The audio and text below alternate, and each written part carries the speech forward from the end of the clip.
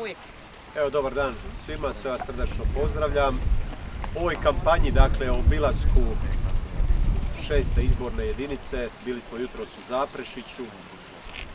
Evo sad smo ovdje u prvoj izbornoj jedinici u Gorici i došli smo poslati jednu važnu poruku za ove izbore.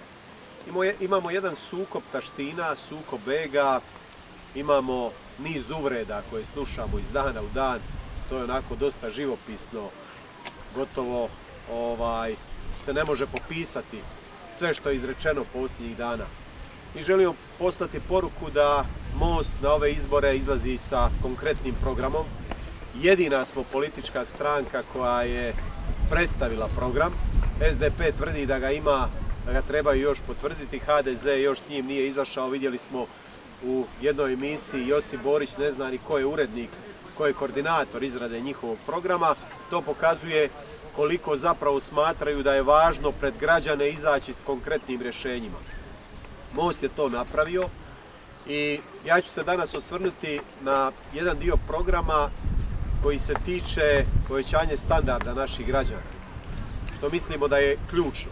Mi smo imali situaciju da zbog koronavirusa, to nije bio samo slučaj u Hrvatskoj, bilo je, to moramo biti iskreni, diljem svijeta su se zatvarale ekonomije.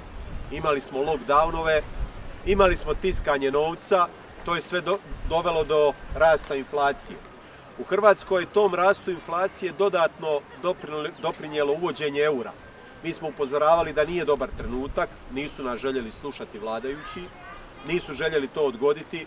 Znamo da je Europska centralna banka imala pravilo, dakle, vezano uz inflaciju kod donošenja eura, ali to je zažmirilo se Hrvatskoj na to pravilo i svjedočimo dakle ogromnom rastu cijena. Taj rast cijena je znatno utjecao na kupovnu moć naših građana i može premijer pričati o rastu plaća, rastu mirovina, ali te mirovine i plaće su pojedene inflacijom. Potrebno je dakle poduzeti određene korake. U ovom trenutku mi vidimo jedinu mogućnost da država napravi sve da dodatno rastu primanja naših građana.